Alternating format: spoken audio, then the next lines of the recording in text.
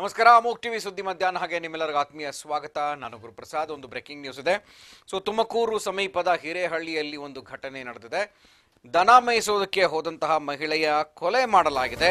ಮಹಿಳೆ ಮೇಲೆ ಅತ್ಯಾಚಾರ ನಡೆಸಿ ಕೊಲೆ ಮಾಡಿರುವಂತಹ ಶಂಕೆ ಕೂಡ ವ್ಯಕ್ತವಾಗಿದೆ. ತುಮಕೂರು ಜಿಲ್ಲೆಯ ಹಿರೇಹಳ್ಳಿ ಸಮೀಪ, ತುಮಕೂರು ನಗರಕ್ಕೆ ಸಮೀಪ ಇರುವಂತಹ ಹಿರೇಹಳ್ಳಿಯ ಸಮೀಪ ಛೋಟಾ ಸಾಬರಪಾಳ್ಯ ಗ್ರಾಮದ ಬಳಿ ಈ ಒಂದು ಅತ್ಯಾಚಾರ ನಡೆದಿದೆ.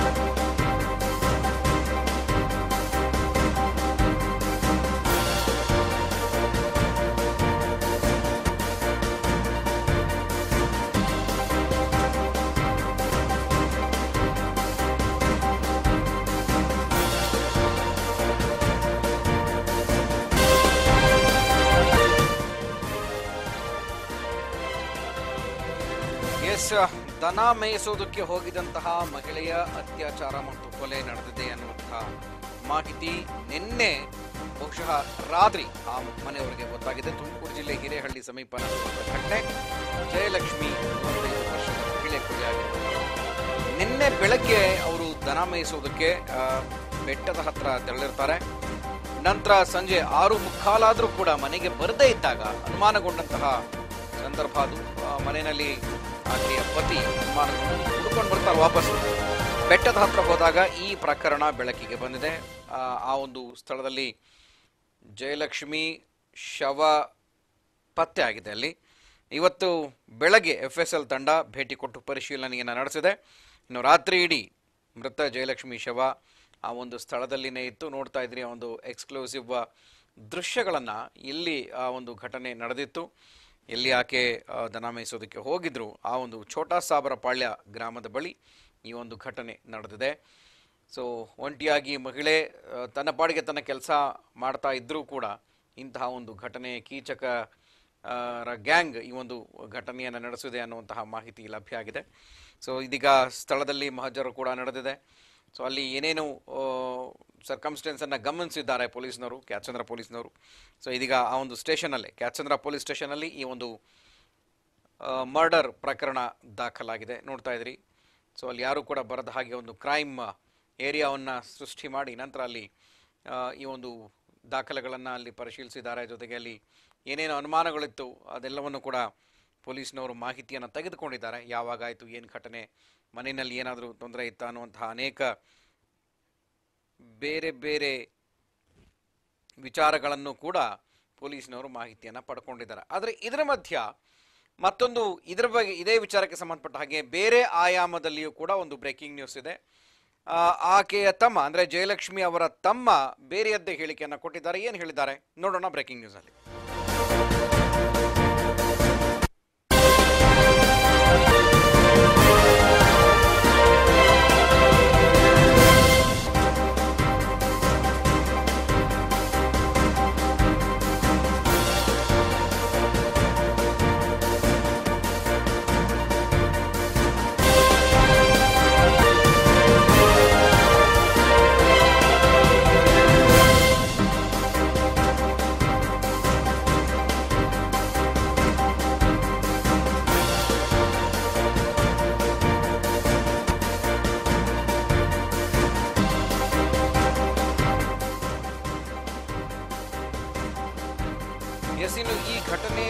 ನಂತರ ಕಿರೆಹಳ್ಳಿ ಹಿರೇಹಳ್ಳಿ ಬಳಿ ಏನು ವಿವಾಹಿತ ಮಹಿಳೆ ದನ ಮೈಸೋದಕ್ಕೆ ಹೋಗುವಂತ, ಮನೆಯಲ್ಲಿ ಕಿರುಕುಳ ಕೊಡ್ತಾ ಇದ್ರು ಅಂತ ಮೃತ ಜಯಲಕ್ಷ್ಮಿ ಸಹೋದರ ರೂಪೇಶ್ ಹೇಳಿಕೆಯನ್ನ ಕೊಟ್ಟಿದ್ದಾರೆ. ಸೊ ಆಕೆ ಆರು ತಿಂಗಳಿಂದ ನಾನು ಕೂಡ ನಿರಾಕರಿಸ್ತಾ ಇದ್ಲು. ನಾನು ಹೋಗೋದಿಲ್ಲ ದನ ಮೇಯಿಸೋದಕ್ಕೆ ಅಂತ ಹೇಳ್ತಾ ಇದ್ಲು. ಆದರೆ, ಜಯಲಕ್ಷ್ಮಿಯ ಅತ್ತೆ ಮತ್ತು ಗಂಡ ಇಬ್ರು ಸೇರಿ ನಮ್ಮ ಅಕ್ಕನಿಗೆ ದನ ಮೇಯಿಸ್ಕೊಂಡು ಬರ್ಬೇಕು ನೀನು ಅಂತ ಹೇಳಿ ಕಿರುಕುಳ ಕೊಡ್ತಾ ಇದ್ರು ಅನ್ನುವಂತಹ ಹೇಳಿಕೆಯನ್ನು ಕೊಟ್ಟಿದ್ದಾರೆ. ಆದರೆ ನಮ್ಮ ಅಕ್ಕನ ಗಂಡ ಸೇರಿ ಎಲ್ಲರೂ ಕೂಡ, ಅಂದರೆ ಅವರು ಬೇಡ ಅಂತ ಹೇಳಿದ್ರು ಕೂಡ ಅವರೆಲ್ಲರೂ ಒತ್ತಾಯ ಮಾಡಿ ಅಕ್ಕನ್ನ ಕಳಿಸಿದ್ದಾರೆ, ದನ ಮೇಯಿಸೋದಕ್ಕೆ ಆ ಗುಡ್ಡ ಕಳಿಸಿದ್ದಾರೆ. ಸೊ ಅಲ್ಲಿ ಈ ಘಟನೆ ನಡೆದಿದೆ. ಸೊ ಕೆಲವು ಅನುಮಾನಗಳನ್ನು ಅವರು ವ್ಯಕ್ತಪಡಿಸಿದ್ದಾರೆ. ಸೊ ನೋಡ್ತಾ ಇದ್ರಿ, ಅಲ್ಲಿನ ಶವವನ್ನು ಮಹಜರ್ ಮಾಡಿರುವಂಥದ್ದು, ಜೊತೆಗೆ ಅಲ್ಲಿ ಏನೇನು ಘಟನೆ ನಡೆದಿದೆ ಅನ್ನೋದನ್ನು ಗಮನಿಸಬಹುದು. ಸೊ ಒಂದು ದನ ಮೇಯಿಸುವಂತಹ ಜಾಗ ಸೊ ಯಾರೂ ಇಲ್ಲ ಆ ಒಂದು ಜಾಗದಲ್ಲಿ. ನಿನ್ನೆ ಬೆಳಗ್ಗೆ ಹೋದಂಥ ಆಕೆ ಸಂಜೆ ಆದರೂ ಮನೆಗೆ ಬರಲಿಲ್ಲ ಅಂತಂದಾಗ ಆ ಒಂದು ಘಟನೆ ಅಲ್ಲಿ ನಡೆದಿರೋದು ಗೊತ್ತಾಗಿದೆ. ನಂತರ ಇಲ್ಲಿಗೆ ಬಂದ ಮೇಲೆ ರಾತ್ರಿ ಇಡೀ ಶವ ಅಲ್ಲೇ ಇತ್ತು. ಬೆಳಗ್ಗೆ ಎಫ್ ಎಸ್ ರಿಪೋರ್ಟ್ ತಂಡ, ಅಂದರೆ ಎಫ್ ಟೀಮ್ ಅಲ್ಲಿಗೆ ಭೇಟಿಯನ್ನು ಕೊಟ್ಟಿದೆ. ನೀವು ಗಮನಿಸ್ಬೋದು ಆ ದೃಶ್ಯಗಳನ್ನು. ಸೊ ಒಂದು ರೀತಿಯ ಚಿಕ್ಕದಾದಂಥ ಒಂದು ಗುಡ್ಡದ ಪ್ರದೇಶ ಕಾಡಿನ ಥರ ಕಾಣಿಸ್ತಾ ಇದೆ. ನಿರ್ಜನ ಪ್ರದೇಶ, ನಿರ್ಜನ ಪ್ರದೇಶದಲ್ಲಿ ನಡೆದಿರುವಂಥ ಘಟನೆ ಇದು. ಹಿರೇಹಳ್ಳಿ ಏನು ಅಂಡರ್ ಪಾಸ್ ಇದೆ, ರೈಲ್ವೆ ಅಂಡರ್ ಪಾಸ್ ಕಾಣಿಸುತ್ತೆ ನಮಗೆ, ಪ್ರ ಬೆಂಗಳೂರು ಹೋಗುವಂಥ ಜಾರಿ, ದಾರಿನಲ್ಲಿ. ಆ ಎಡ ಮತ್ತು ಬಲಭಾಗದಲ್ಲಿ ಕಾಣಿಸುವಂಥ ಜಾಗದಲ್ಲಿ ನಡೆದಿರುವಂಥ ಘಟನೆ ಇದು. ಸೊ ಅಲ್ಲಿ ನಿರ್ಜನ ಪ್ರದೇಶ ಯಾರೂ ಇಲ್ಲ, ಯಾರೂ ಇರಲಿಲ್ಲ.